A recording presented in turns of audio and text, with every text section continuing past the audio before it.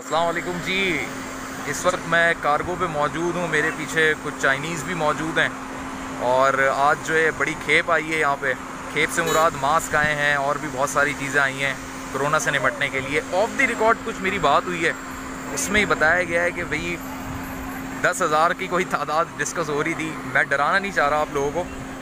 لیکن انہوں نے کہا یہ بڑا سیریس ہے۔ میں نے پوچھا آپ نے ووہان میں کیسے کنٹرول کیا؟ مطلب کوئی میڈیسن تھی، کیا تھا؟ انہوں نے کہا کچھ نہیں کیا، ہم نے جسٹ آئسولیٹ کر کے رکھا لوگوں کو۔ کیونکہ انہوں نے کہا ہمارا ایزمشن یہ کہ جتنی بڑی آبادی شہر کراچی کی ہے، اس آبادی میں رہتے ہوئے یہ مطلب چائنیز جو یہاں پہ آئے ہیں، وہ یہ کہتے ہیں کہ ہم یہ ایزیوم کر رہے ہیں کہ تعداد کراچی کے اندر کچھ نہیں کچھ نہیں، دس ہزار پہ سیکنڈوں میں چلی جائے گی۔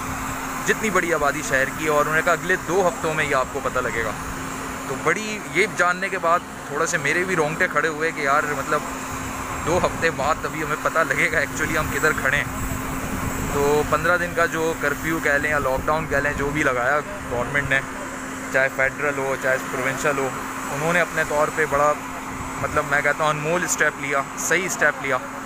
لوگ جو ہیں وہ شاید سنجیدہ نہیں ہو رہے۔ لیکن وہ کہتے ہیں کراچی کی آبادی جتنی ہے، اس میں دس ہزار انفیکٹ آرام سے ہو جائیں گے اور ہو چکے ہوں گے دو ہفتے بعد پتہ لگے گا۔ تو اللہ رحم فرمائے اس شہر پہ، کراچی پہ۔ پانچ لاکھ ماسک تو آ چکے ہیں، بیس ہزار پروٹیکشن سوٹ آنے والے ہیں اور پچاس ہزار ٹیسٹنگ کٹس آ رہی ہیں۔ ٹیسٹنگ کٹ ایسی ہے کہ ایک کٹ سے آپ بیس لوگوں کو ٹیسٹ کر سکتے ہیں۔ نیشنل ڈیزاسٹر مینجمنٹ اتھارٹی جو ہے، وہ اپنا اس میں بڑا رول پلے کر رہی ہے۔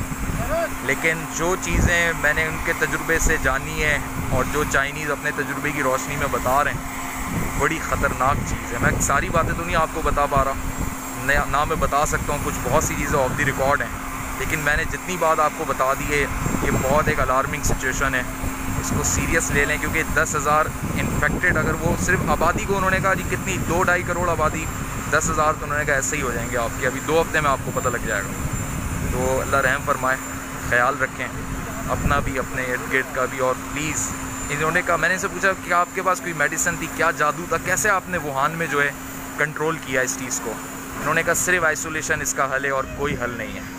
تو بس اللہ رحم فرمائے آئسولیٹڈ رہیے، مت نکلیے باہر، نکلیں تو بہت پروٹیکشن کریں۔ میں ابھی نکلا ہوں تو میں نے اتنی زیادہ پروٹیکشن کی ہوئی، ہاتھوں پہ میرے گلوز بھی ہیں اور یہ دیکھ لیں آپ۔ اور ماسک بھی ہے، پھر پلس یہ کہ بار بار سینیٹائزر کا استعمال ہے اور میں اپنے فیس کو بھی نہیں زیادہ ٹچ کر رہا ہوں۔